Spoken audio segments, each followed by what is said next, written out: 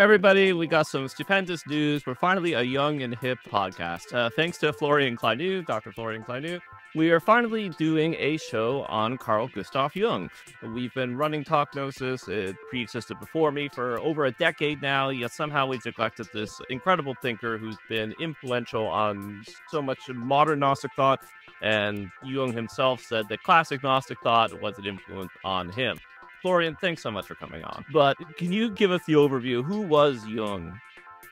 Jung historically, uh, worked at the turn of the 20th century, so uh, he was a student of Sigmund Freud. Originally, he was a, a student of medicine like Freud. Um, he studied with Freud and sort of continued to develop his notions of the unconscious, where he um, ultimately went on to split from Freud over some key concepts that I'm sure we'll, we'll go on to touch upon um, later. Uh, he then sort of continued along different trajectories from Freud entirely um, but but that's sort of the realm he was in. He was also a psychoanalyst. He drew heavily upon the metaphysics of the unconscious. Um, and well, he was Swiss. I think maybe that's a for for those who don't know anything about Jung, he was Swiss. Um, and spent his life living in in Switzerland. Extremely awesome. And Jung has had a, a big impact on our culture, a big impact on many important thinkers, uh, very influential on many artists, but at the same time, I, I don't know if I would exactly call him mainstream. Uh, how, how did you get interested in him and his work? Yeah. Yeah, it's I don't I don't quite remember myself. I was interested in Taoism um at a at a quite a young age. I lived in China for a while, um, for a couple years. Um after I graduated high school, I moved to um, Beijing and, and lived there for a few years, learn to learn Chinese initially, and then I stayed to work. And um, at that time, I was reading, I was reading Taoist texts. I was reading the I Ching. I was reading the Tao Te Ching, and uh, Jung wrote a, an introduction to the I Ching um, and a commentary on another uh, Taoist text, the um, text of the Golden Flower, or whatever it's translated as in English. I'm not sure. Uh, I, my my mother tongue is German. I read most of the stuff in German. Um, but that sort of got me interested in in, in his thinking and the, the whole idea sort of of the Tao very similar to Jung's worldview with the sort of the synchronicity as sort of the background noise of um, you know reality, if you will. Um, that got me got me interested in Jung. I, I first read um, his his works on on alchemy and and then later getting sort of more systematic, you know, psychoanalysis, psychology. Um, while I studied, I did study neuroscience and psychology in undergrad, so that was um, sort of a little loop around the corner that got me back to Jung then. Yeah, that, that's that's really cool. Uh, usually in English, it's translated as "Secret of the Golden Flower," though I, have seen some, some, different different titles for it. Yeah, I'm sure I'm sure we'll be talking uh, more about that uh, as well. Uh, but it, uh, it's a Taoist manual for inner alchemy, so very fascinating text that um, uh, Jung got a lot out of, and uh, people can get a lot out of today. But yeah, I didn't realize that the Taoism was was your was your entry point. That that's really really interesting. Um, okay, so if you can take us through some of his his major ideas, the, sort of a huge question. Some of these ideas can be very complex, but uh, again, the, the, overview, which I guess we got to start with the big one, which uh, isn't which is an idea that he builds upon, but the the unconscious. Right, right. So I think the starting point here, and I, I guess schools of psychoanalysis disagree on this already, but um, the starting point is that we we're born either with um, nothing at all or with an ego, um, uh, and then either the unconscious grows, or as Jung puts it, the or the unconscious form, or as Jung puts it, um, we're born sort of into a space um, that is unconscious, collective unconscious for Jung, and then from that, the what we call the ego differentiates, or as Jung says, sort of in the first phase of individuation, individuate or start to differentiate, right? and a personal unconscious then develops as well.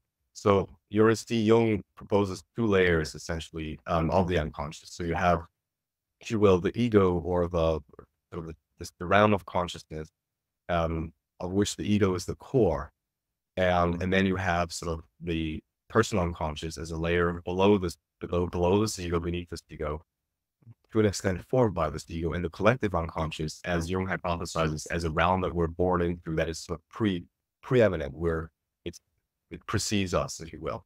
Um, so that's the very basic um, very basic architecture. You have um, then the ego again, uh, sort of obviously has unconscious components. We can maybe talk a little more about that. So the ego is as being, um, let's say, not entirely its own agent. It's controlled sort of by these unconscious factors. And then, of course, the ego, that's at the bottom layer, if you will, of the ego. And then at the top layer of the ego, we have the persona, of the, the mask that we wear in, or the mask in, in plural that we wear in multiple social situations to sort of interact with society on that level. But, but Yeah. We'll, yes, we'll, we'll get into each of those in more detail. Excellent, excellent. Well, yeah, that's just what I was about to say. I think a lot of people at home who, who maybe don't know Jung, um, they're nodding along. You know, this makes sense. I know about the unconscious, or at least ideas of the subconscious, of ego, of persona. That sounds uh, rational, elegant. I've had some personal experience out in my own life and counseling, even if they are not uh, uh, connected in any way to, to psychoanalysis or any school of psychoanalysis. But you mentioned the collective unconscious there a few times that might be an idea that'll that'll blow some people's minds that, that might even be difficult to to accept. So uh, can you tell us Yeah. more about uh, Jung's theories of the collective unconscious, what it is, how it works? Uh yeah, fill us in. I think I think maybe let's start with the you know, the personal unconscious to sort of tease out the differences here. So if we think about the personal unconscious, what we would classically think about in the sort of Freudian views that basically there are there are um, aspects of the life that we live that we cannot cope with or that for some other reason are split from the ego. Now, to understand that, we have to sort of think about okay, what is the ego? Essentially, I always like to say the ego is the kind of the story that we tell about ourselves, you know, in a way, right? We, we, narrate. I, I like to think of the ego as sort of a narrative. Um, that has to do with the, the work in psychology that I've been doing. Um, and I think it fits well with Jung. But anyways, the ego is sort of the sort of that which we believe we are. And although we cannot recall all of it, I, I always like to compare it to the photo library that we have on our phones. Like you can go through it and you'll find, you'll ultimately find what you're looking for. But there are gaps, right? And some pictures you deleted, maybe some pictures other people have deleted, some pictures were, let's say, automatically deleted in a way, you know, um, by by accident, by your phone in the metaphor, you know. And and the pictures that are sort of the gaps, so that which is not there, is what we would call, and especially those pictures that are deleted purposefully, um, in the quotation marks, right? Repression is not purposeful action, obviously. Um, that would be sort of cast into the unconscious, right? That's the personal unconscious. Right. Now, the ego then is, is sort of that which you build very precisely built around um, that which makes those pictures hang together. The kind of the story you build, and and again, you have a reference book. You can say, oh, well, I have this, I have this pain in my knee. Well, actually, it's because yesterday I tripped over this, something like that. And if you can build this, you, you know, the pain doesn't have to disturb you so much because you can interpret it. You can build an interpretive framework starting with the very fundamental assumption that you're a functioning body that is sort of the same today and tomorrow. And so, so this this is a more very broad understanding, I think, of, of sort of what what we can understand the ego. Now, the unconscious, then the personal unconscious, again, we discussed this, this repository of repressed um, content um, to a large extent. Now, the collective unconscious for Jung is um, to put it put out a hypothesis or a statement that we can discuss is the the fundament of all reality, if you will. So physical reality on the one hand, and then um, psychic reality on the other hand. And I, I like to think of the collective unconscious as that which the structures or gives you the or uh, affords you the trajectory along which you can you can then build um let's say it exists psychological distance and in some interpretation even physical existence. Now um maybe to, to fill that with life a little bit, um essentially the way I like to think about the psyche is that again you have these different small elements that you grasp, you know, that you sort of take in, right? Those elements could be compared to the books behind me on the shelf. You know, it's like these different elements, and those elements have to somehow be organized within within your psyche, in the realm of like. And Jung proposes that the collective unconscious offers you a, a space in which those elements can be organized preeminently. Now, offer sounds like you have a choice. In fact, you don't, right? It's what you're born with. And this doesn't mean as a little bit of, um, you say, well, anyways, it doesn't mean that you don't, that this collective realm doesn't evolve. Let's just say that from, from, you know, it doesn't mean that it's fixed. It's, it's always been the same. You inherited in quotation marks. Um, but it's, it's, it's, um, it, it is an evolving realm for Jung as well. But I to, I, I really want to. Uh, I hope you weren't in a groove. I, I just want to put a, a little pinpoint in that because I, I, think that is a a big misunderstanding about Jung's thought or like pop culture understanding of Jung's thought. So I just want to highlight that as, as, as very important because it's something that I have encountered a lot. So so so, so sorry, Florian, you were on a roll and I I got in there and it.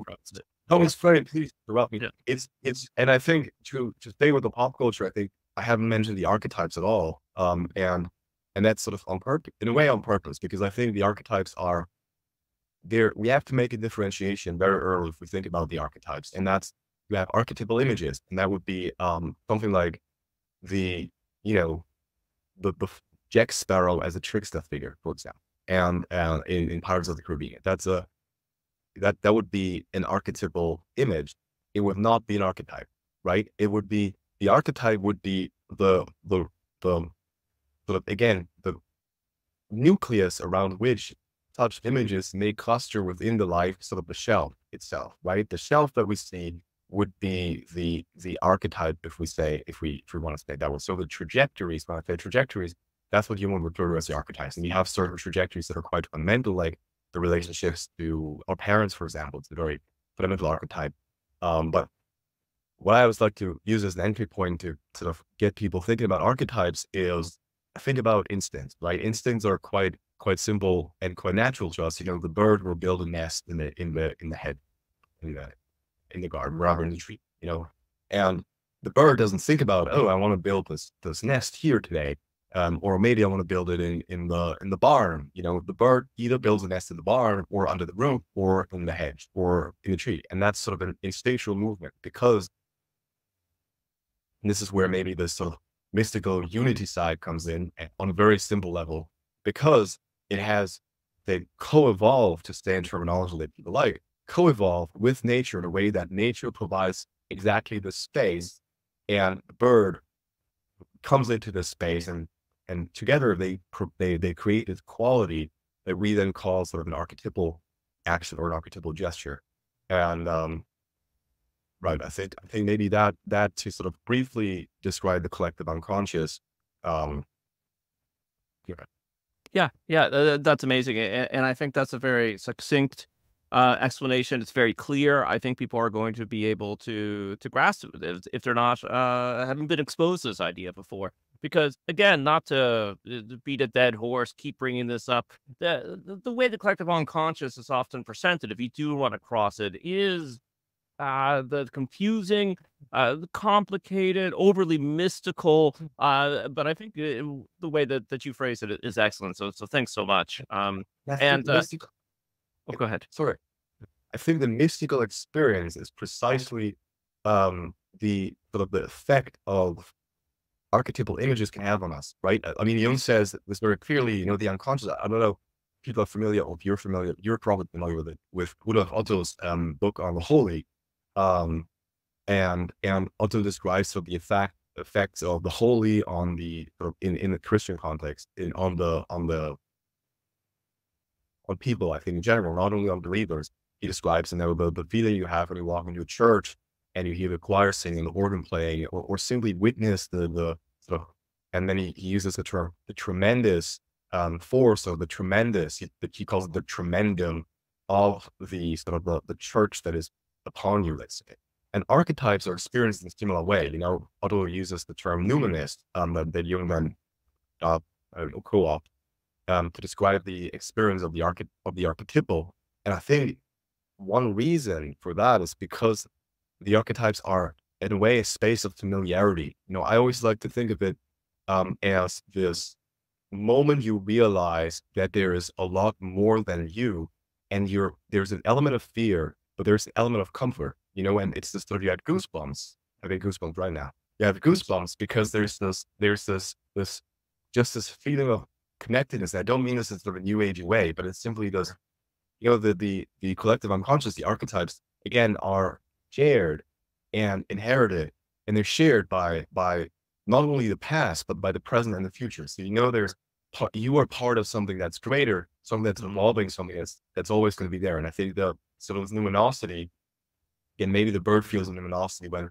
when the bird builds the nest in the tree, you know, when, when it, when they discover and that the first time, well, this this is a this is this is where I should build a nest. You know? Maybe maybe I don't know.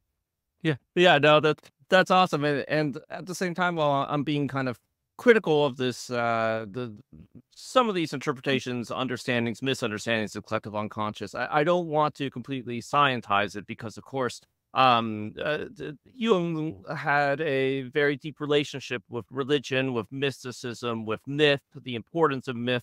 And even if you don't know Jung people are, are probably kind of figuring out that the, the archetypes of collective unconscious are related to some of our uh, ideas about religion, our experiences religion, like you're saying, of the numinous. And and the archetypes are, are often connected to the figures that we find in myth, fairy tale, fiction. Is is that right?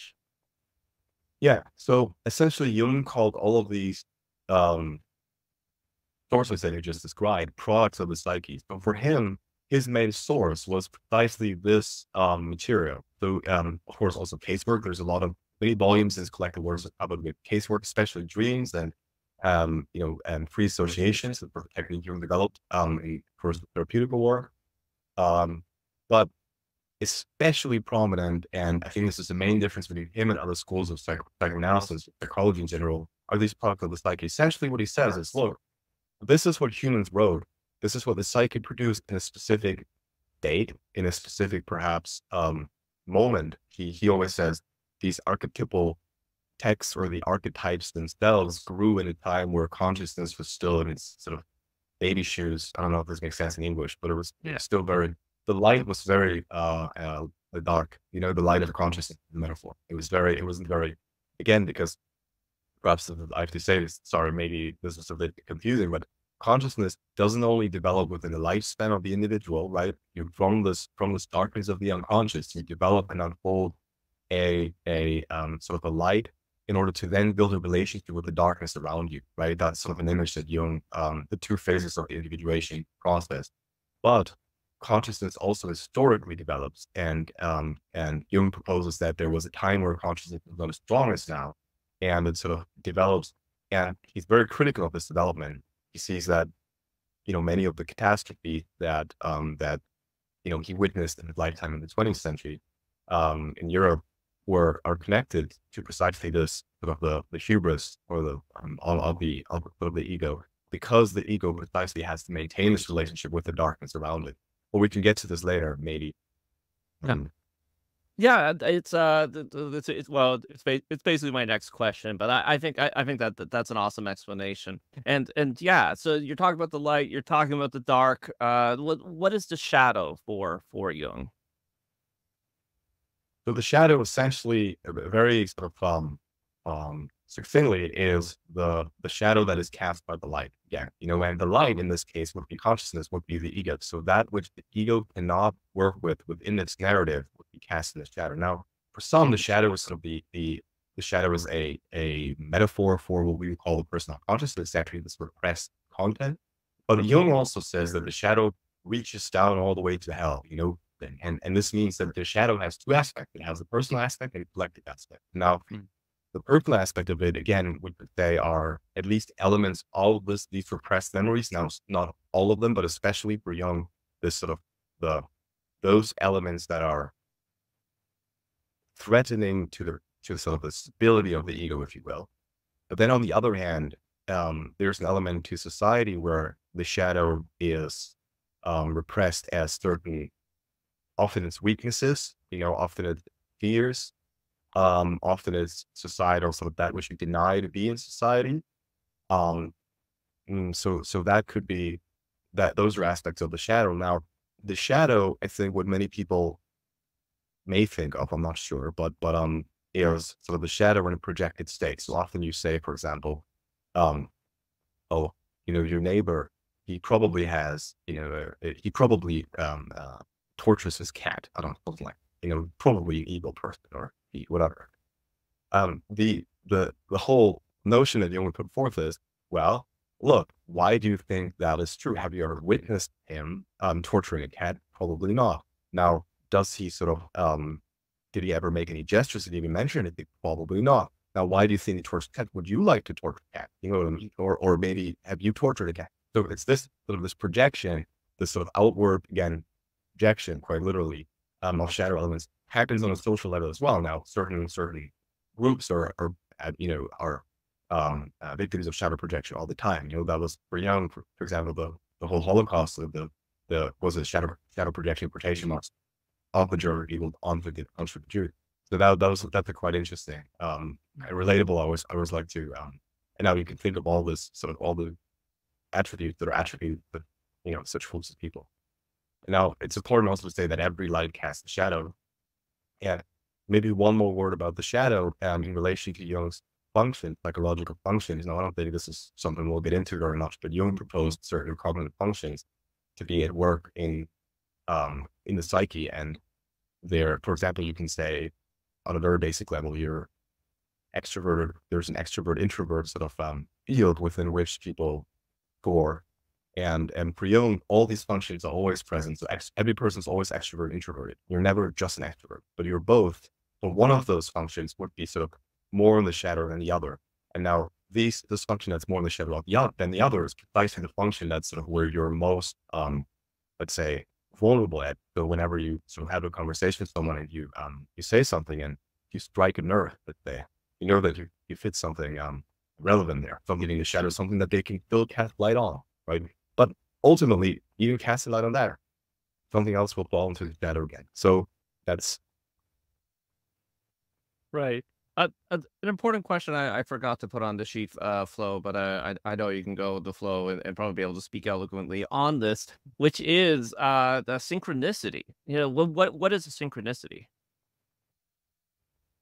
Right. So a synchronicity, in essence, is sort of an acausal the recurrence of an acausal moment um, within time. Now, what that means is you have two instances. Typically, we say um, one instance would be in the psych, one psychological, another material, and they're somehow connected by meaning, but they're not causally connected. So, for a classical example, would be, for instance, um, the the example that that um, that um, Jung had a patient where I think I, I talked about this before, Jung had a patient where um, that, that he was seeing was a man and, and this man was seeing him and talked and his wife told him, I think the day before, so the wife of the man who was his patient told him the, the day before, oh, he has heart issues, maybe you can have a look at him. And um, so Jung had to look at him and said, I sent him to the cardiologist, no problem, um, everything's fine. He's on his way back home. And, um, and no, yeah. So the wife called and said, well, is everything all right with him? Are you sure? Saying this to Jung. And, and you're like, yeah, he's on his way home. Everything's great. And why, and Jung asks, why did you call? Well, there was a flock of bird on my, on, on my house. And I, every time a member of my family died, it happened to twice with her mother and a grandmother, I think. Um, there was a bird, there were birds on my, on my roof. So I was really, I was worried. Like, no, no, it's fine. And it turned out that in this precise moment, not precise moment, but around that time, the man had had a heart attack and died. Um, spirit. And uh, why is the synchronicity? You have a connection between the birds and the death of a person, right? A lot. Now, both of these occurrences are, are, are, are physical, if you will, but the meaningful connection between this is on multiple levels. First, you have a personal level. The woman had experienced um, the connection between these two uh, occurrences before. But then, and this is quite interesting, you have an archetypal level where the bird um, is a symbol for um, sort of soul leaving or entering a body. Rather is an archetypal image. You have this of in, in many amazing Egypt, the Bible as well.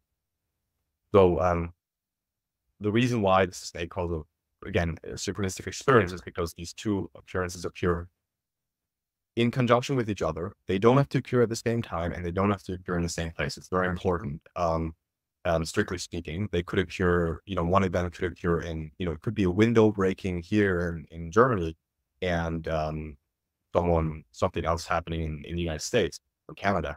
Um, would still be a synchronistic moment if there was some kind of meaningful connection between those events. And these events could also be displaced in time, still be synchronistic if there was a meaningful connection. Um, uh, we're talking about Jung, but but a little Freudian slip. I, I wrote what is integration on the question sheet. I think I meant to write what is individuation, but you know I'll oh. ask both. Hey, hey, what is integration and individuation, Florian? it's conjunctive, actually. I mean, we can talk about integration in the context of individuation, perhaps. So, Please. individuation essentially has, um, well, it literally involves integ- integrating the conscious and the unconscious components of the psyche. So, individuation has essentially two phases.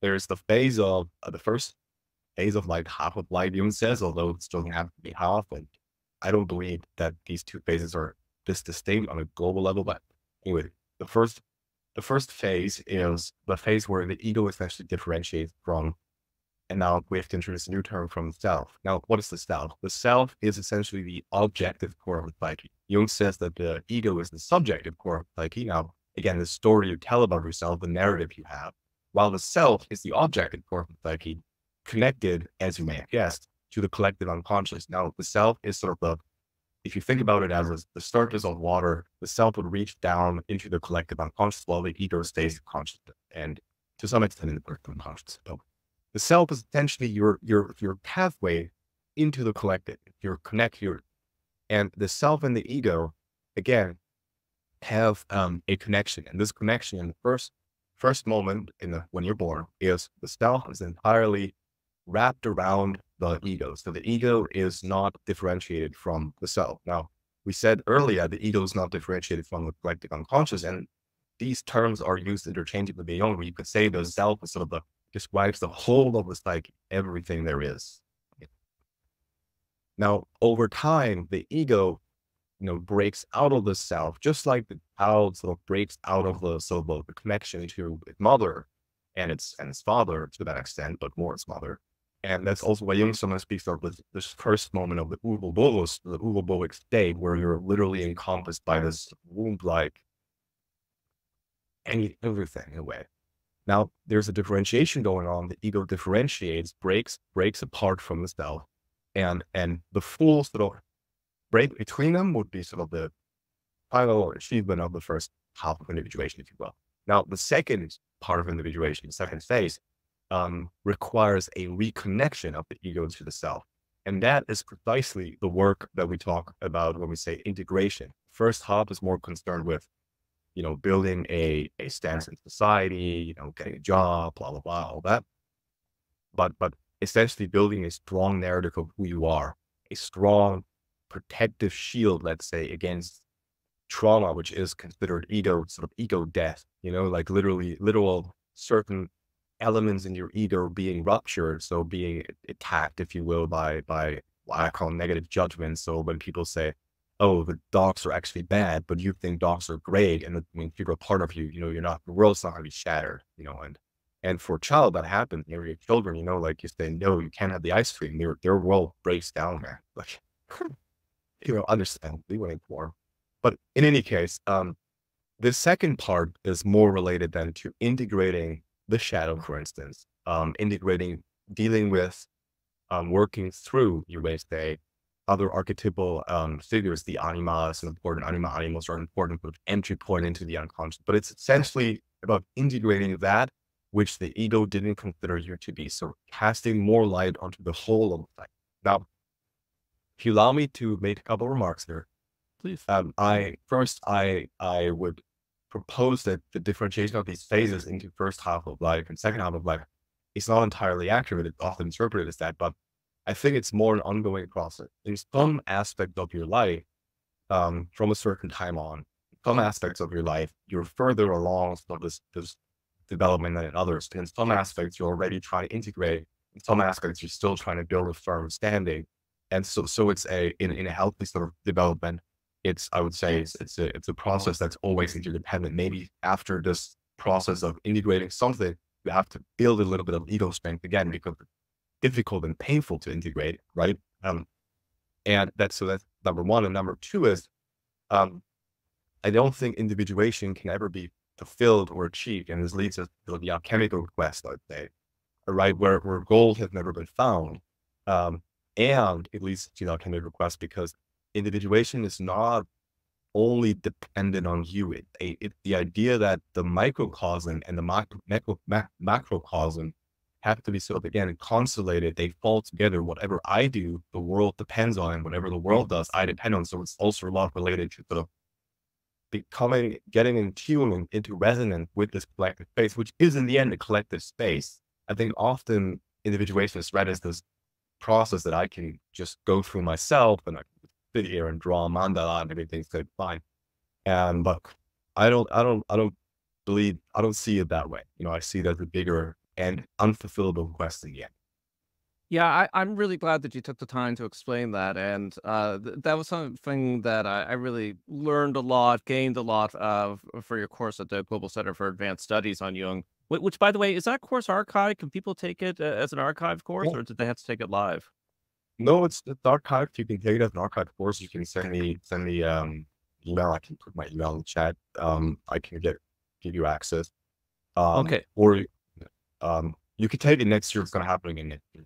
We'll, we may have a we may even have um a, a live course on Jung in the um in in the Alps, in the Austrian Alps, but um in the Alps uh, coming up next fall. So, but but that um Uh, amazing, amazing. Because uh, uh, because in that course, I, again, uh, I'm often I have read Jung, but I haven't read Jung in in a long, long time.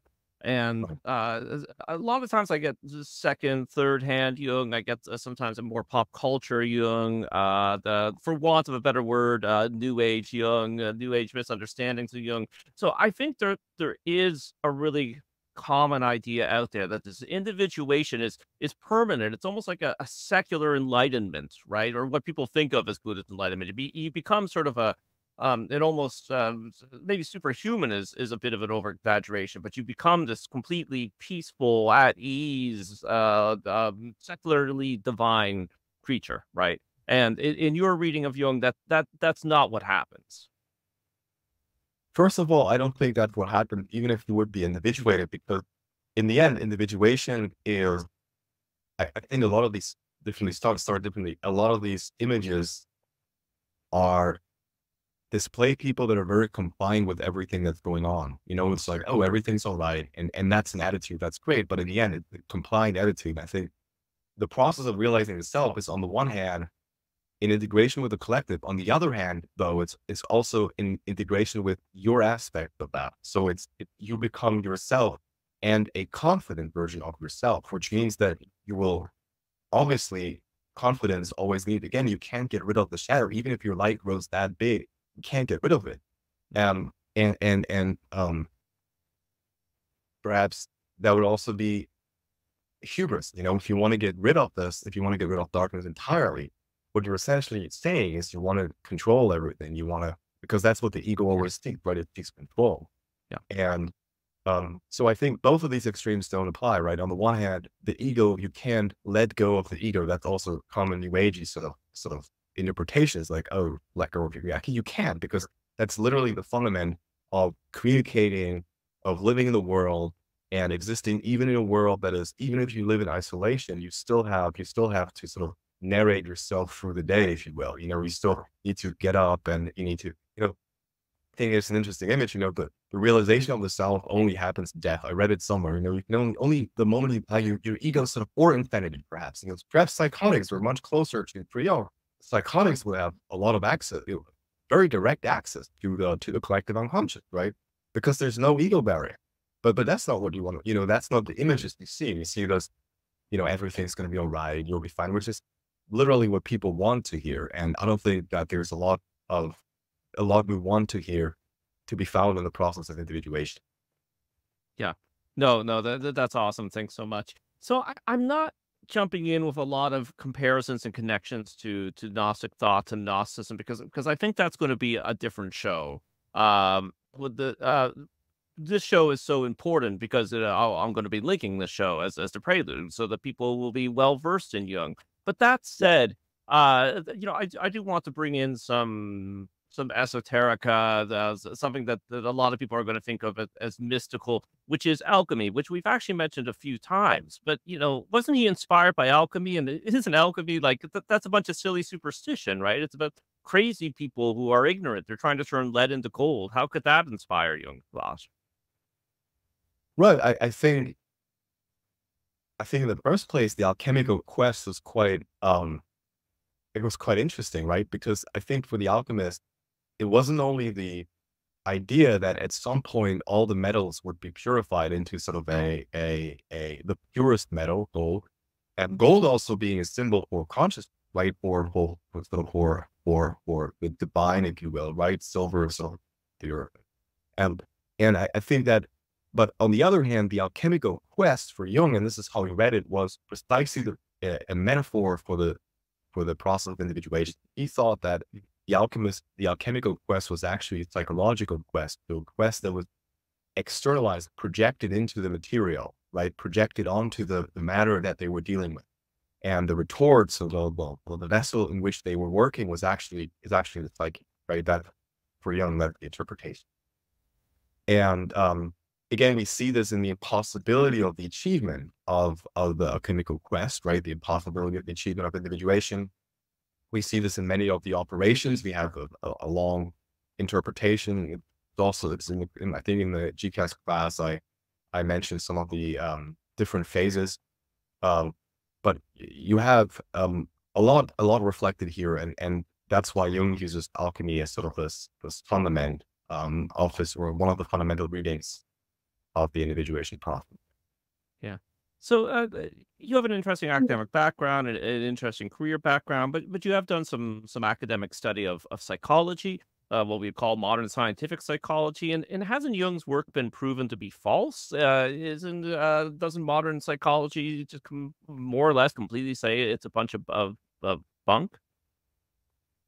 If I mean it depends again, I think um first it depends on what you mean by true and false, right? I think I think there's the modern psychology has a certain perspective.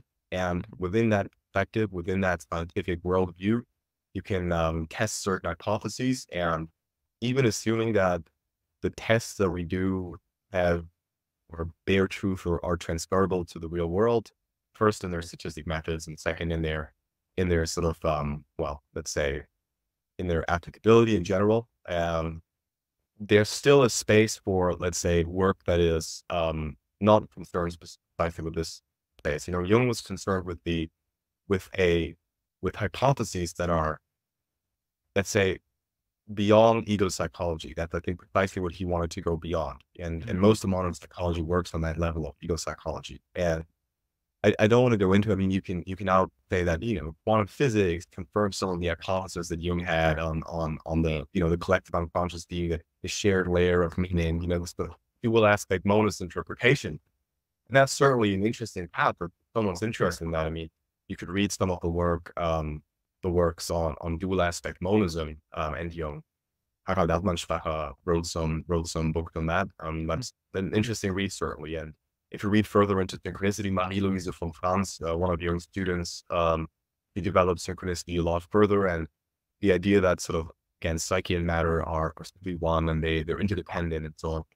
And, and you have, you do have also, I mean, something we know for for in psychology is that we're the actions that we take are preceded by um by brain activity if, if we can if we could measure stuff on this level right but it but it's that's something we something we we have confirmed as an hypothesis and um and and that tells us something about the autonomy that we have about and over our action and tells us something about sort of the um yeah let's say the yeah the you know the the question what steers or or how dependent we are on certain pre-existing structures. And now you again, if you if you are, if you stay at a very naturalistic level, material materialist level, you can say that that the the the nature that we encounter and the culturation that we that we receive are but the precisely open nature that we encounter are the fundament of these arch of these archetypal sort of templates or or trajectories that we then live out. Now, you don't have, I think you don't have to be a metaphysician to read Jung. There's, there's a book by, um, uh,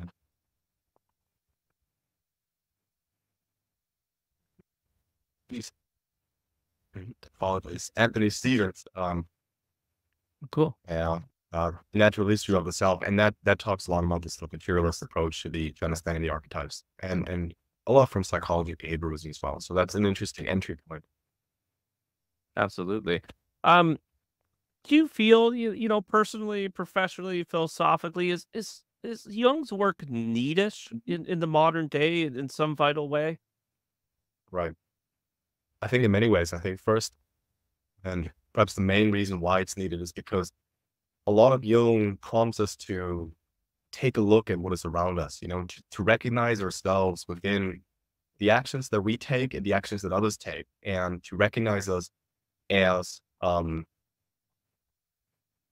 interdependent with other people, with our history, with our future and our past and our present, excuse me. So um, on that level, simply speaking, you have a lot in sort of the ecological crises that we're that we're perhaps existing in, um, and sort of humanitarian crisis that exist, and you have a lot of hope in you or a lot of perspectives on that. There is also, I think, on the individual level, um, a great, let's say, chance in Jung to move away from a framework where you think you have your own destiny in your own hand, and you can say, "Well, I have to achieve everything." You know, I there are these imperialist goals that I have to achieve. Certainly, again, that's on on one on one level. That is what you that is what you go through. That is what you have to, do within the framework that we live in. It would be uh, ignorant to move away, turn away from that. But Jung gives us the hope that there is something beyond that, that there's something else that, that has to be integrated, something else that's calling for us. It, it hmm. something other, let's say, truly in the in the in the true sense of the word, you know, something other that is not again ourselves. I think classical psychoanalysis is like, oh yeah, you can discover um, something else in the unconscious, but then again, only kind of yourself and plus a little bit, you know. Um, and and for Jung, it's like, no, there's there's actually something else here, and and I think on a very very mundane level, it is worthwhile studying these products of the psyche precisely because they are so deeply woven into into what we are as a collective. And if you believe in the mm-hmm. collective unconscious, the term being in metaphysical, but it doesn't doesn't it's not really relevant. It's simply, you know, if you, if you look at these sources and you think, well, the people that have preceded that have lived on on on, on this earth before me have written this, and they have had a reason to for some somehow they somehow produced this, right? For some somehow this had to do with the way they view they structured the world around them.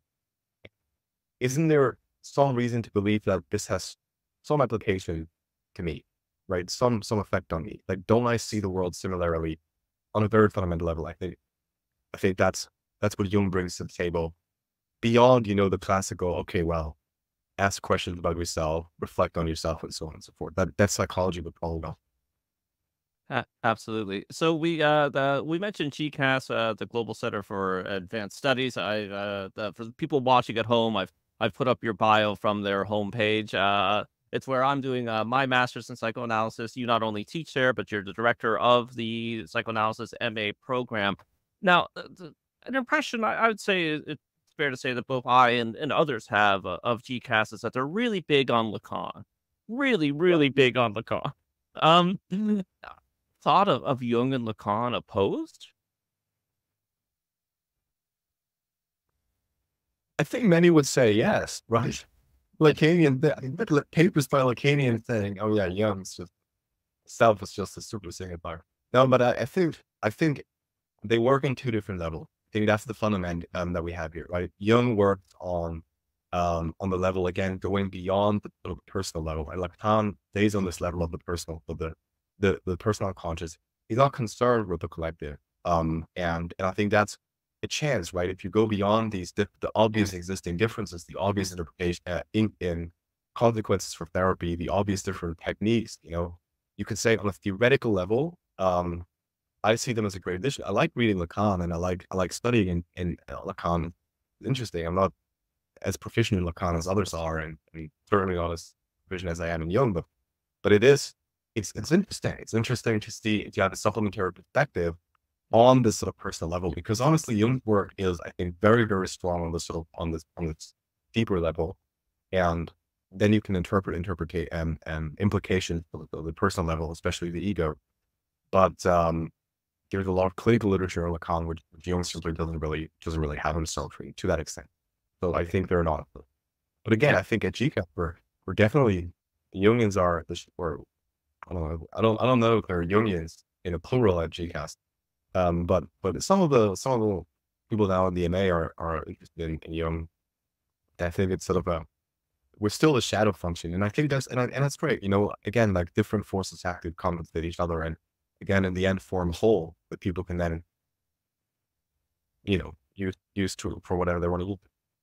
Yeah, yeah, it's very appropriate for a thinker who's all about reconciling opposites. I, I think some exciting things will come out of these uh, these intellectual discussions and uh, the meetings of of uh, the different schools might be too harsh of a term, but uh, you know what I mean. Which is, it, I've been putting uh, Kleinau publications up on the uh, the screen for for everybody at home. You have a number of uh, books uh, that, that you've published. Everybody should go out and buy them. I do want to have you back on the show to talk about those books, particularly so, the um the dynamic of the psyche, the process of transformation in the I Ching and Tao Te Ching uh, because I, I, think our watchers and listeners will, will get a lot out of that. But but but tell us about your book. Tell us about where people can find you online, and tell us about your new YouTube channel. Thanks for the space, first of all. And I think, especially the YouTube channel, what I try to do is simply what I've also tried now is to, to say, okay, well, here's here's what Jung said. Not necessarily always subjectively. Certainly, I interpret, but um, an interpretation that is not on the spiritual side. You know that that some New Age stuff is on, and then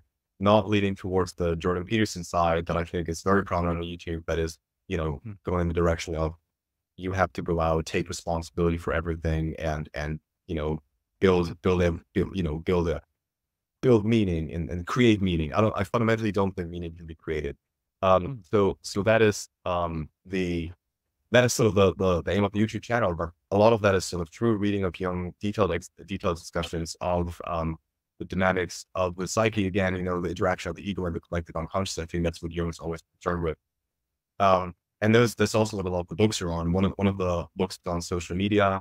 Um, that's maybe an interesting perspective for some, and um, how that ties into the sort of cutting us off from essentially the influences of the um, the collective or interactions with the collective and leaving us sort of a hubris situation, the ego and situation of hubris um, and obviously there's the book on the, the Ching where with more of sort of a meditative, um, self consciousness, um, rather than an analysis, detailed word by word analysis. But, uh, it was quite a good exercise, I think. And, and then, um, and always within an hour, the first book I wrote is, um, on so this journey of the subject or the individual, um, between these sort of three world realms, realms, uh, sort of the heaven, the archetypes, and then hell, reality, and coming into being in this, in the in between spaces, which, uh, which, um, yeah.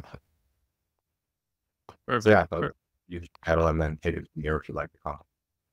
Amazing. I'm, I'm going to quickly wrap up with a commercial for ourselves. Patreon slash patreon.com slash Gnostic. You can keep the show going for as little as a dollar per piece of media per month. That's per piece of media. You can also put a cap on that. Just give us a dollar. Uh, other people who have podcasts and Patreons, we also have to update the Patreon. We have old information on there. Did they give you stuff? We, we we don't we don't give you anything. We give you love, um, because we don't want to create extra content and lock it up behind the paywall. Is the idea, and I can't think of anything else to give people for signing up for the Patreon. But if I do, uh, you'll get it. Uh, we do give the shows out early whenever I remember and have time. Uh, we're trying to be as professional as possible, people, but at the same time, uh, there is a limit to our professionalization uh, both because of, of time commitments, but also it's not what we're about. The, we want to be serious. We want to have serious thinkers. We want to get it out there, but it's it's not a money making enterprise for us. That said, we do need a little bit of help to keep the show going. If you can help us, uh, please do. And if you can't, that's cool too. Actually, if you can and you like the show, just tell people about it, rate, review. I know you hear that. You apparently there's other podcasts out there. I'm disgusted by the idea. So you've probably heard this rate and review, but it, it feeds the algorithm gods, the algorithm archons you can do uh, one-time donations at paypal.me slash Gnostic. And uh, that brings us to the end. The end for now, Florian. It's been awesome. Thanks so much for coming on. Thanks, thanks so much for coming on uh, at, at, at night before bedtime at your time. So it, it, it's been really awesome. Thank you very much, Ryan. Okay, bye, everybody.